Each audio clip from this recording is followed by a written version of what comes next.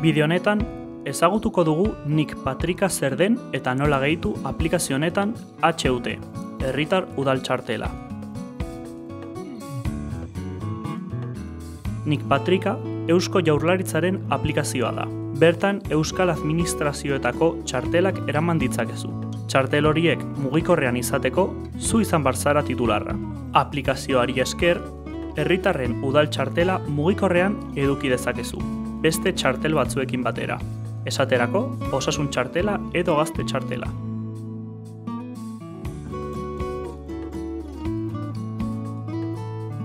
Lehenengo, bakua izan behar duzu, edo izenpek onartutako beste ziurtagiri digitalen bat. Bigarrenik, sar zaitez App Storera, edo Play Storera eta jeitzi Nik Patrika Digitala aplikazioa.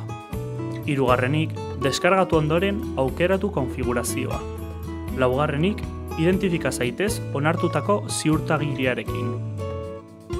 Eta azkenik, has zaitez Nik Patrikan zure titulartasuneko txartelak gehitzen.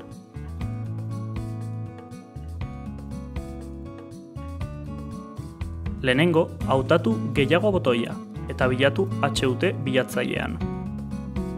Hautatu datuak partekatu eta automatikoki deskargatuko da zure patrika digitalean. Oso erraza da.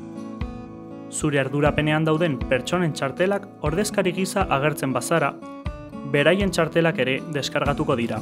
Interesatzen ez basaizkizu, ezabatu ditzakezu. Hautatu nire patrika ikusi, eta nik patrikan instalatutako txartel guztiak ikusi ahal izango dituzu. Ireki HUT txartela eta zure datu guztiekin biztaratuko duzu, ala nola QR kodea eta barra kodea. QR kodearen bidez, udalaren kirol instalazioetan sar zaitezke. Eta barra kodearen bidez, adibidez, liburutegiak erabili ditzakezu. aplikazioa erabiltzeko, ez da beharrezkoa interneterako konexioa izatea.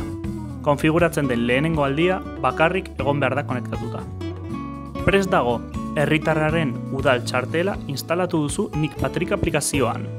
Edo zein zalantza edo informazio gehiago kontsultatu nahi izan ez gero, vitoriamarratxogasteiz.org barra HUT elbidean aurki dezakezu.